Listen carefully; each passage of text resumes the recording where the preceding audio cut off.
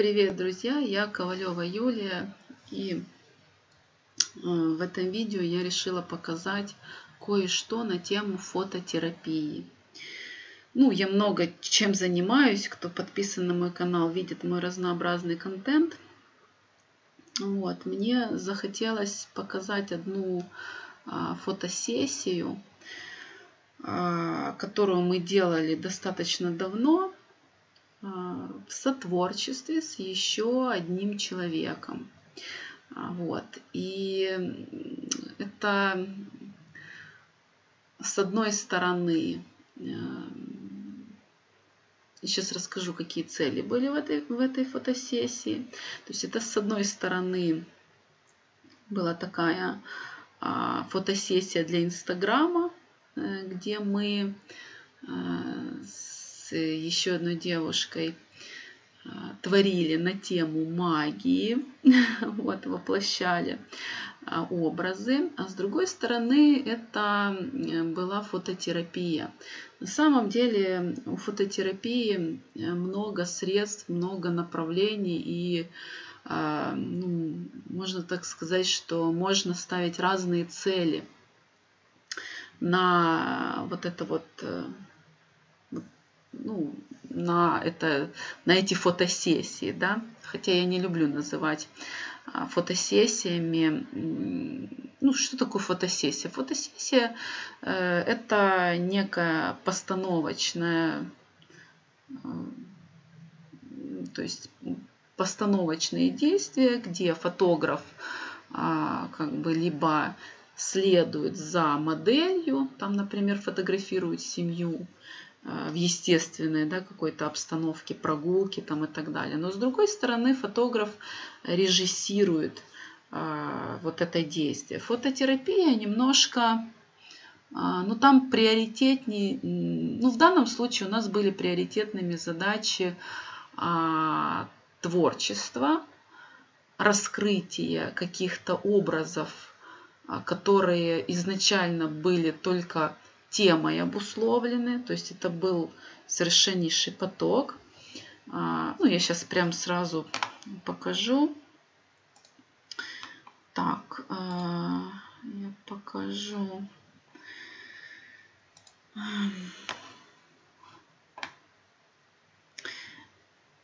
В общем, задач у нас было несколько.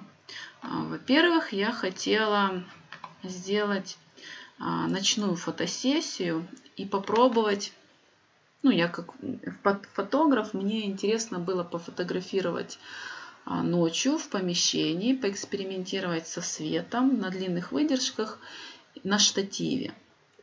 Вот. А, задачи фототерапии были раскрыть, понабирать разного реквизита и примерить на себя какие-то магические а, образы, то есть стать тем, кем мы хотели бы быть в мечтах. Может быть, какой-то какие-то детские такие вот вещи, то есть кем я себя вижу, примерить это, поэкспериментировать, посмотреть. Ну, в данном случае вот моя модель Ирина, она художница, иллюстратор, вот, э, мы, то есть мы сразу несколько задач решали. То есть мы фотографировали для Инстаграма. То есть это были какие-то такие очень ну, ярко выраженные фотографии. Вот, это были эксперименты со светом.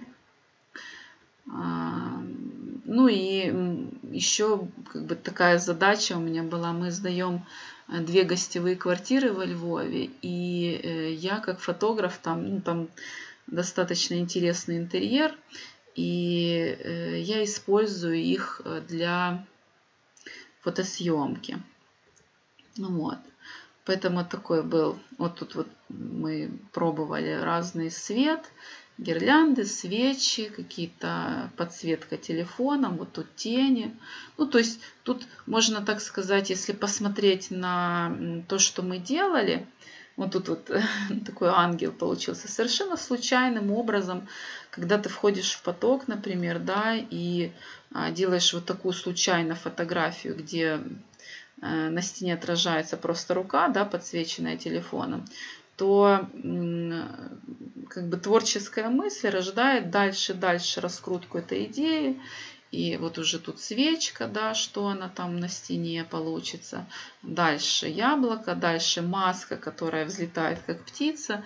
Потом я вижу, что получается, я держу в руках и подсвечиваю маску, и получается как будто бы крылья ангела, да, мы становимся уже в позу ангела и пробуем. Ну, то есть это совершеннейший поток. Я просто хочу показать, насколько это ну, раскрывает, что ли. Я же здесь тоже и как модель выступаю. То есть здесь разные тоже вот, вот, вот такие интересные штуки с тенями. Вот. Ну, то есть здесь предметная съемка. Мне было интересно сделать именно ночную предметную съемку, чтобы вот этот антураж передать, какой-то кучу реквизита мы тут э, брали волшебную палочку. Вот, карты Таро, кстати говоря, тоже. Ну, в общем, все, что костюмы. А, вот мы тут экспериментируем с этими Таро. Вот, конечно, такие фотографии, а, ну, для Инстаграма это просто супер бомба. Вот. А, а почему фототерапия? Ну, это уже все, это уже конец. Я сейчас покажу. У нас и мы и, и на э, снимались и на улице, тоже в костюмах. Тоже попытки были там. Ну, на самом деле, действительно было очень интересно. То есть это у нас заняло вечер и полночи, да, вот такая сессия. А, вот. Я очень довольна.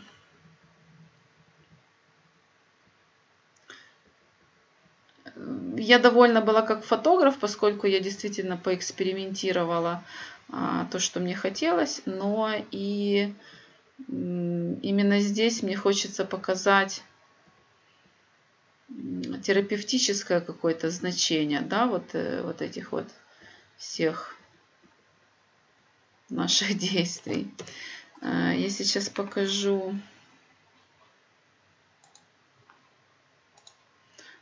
Сейчас еще немножко.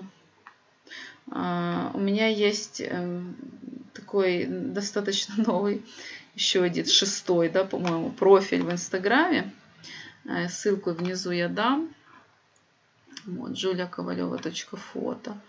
Вот. И я там публикую просто в портфолио своих работ, там не так уж и много, но а, здесь можно посмотреть, как это выглядит в Инстаграме, да, раз мы говорим про контент, фотоконтент, а, а мне хочется именно говорить с разных точек зрения, чтобы а, вот эти, как бы сказать, результат творческого вот этого сотворчества, а, показать его, насколько это с разных сторон, в общем, объемно хочется показать. А, вот.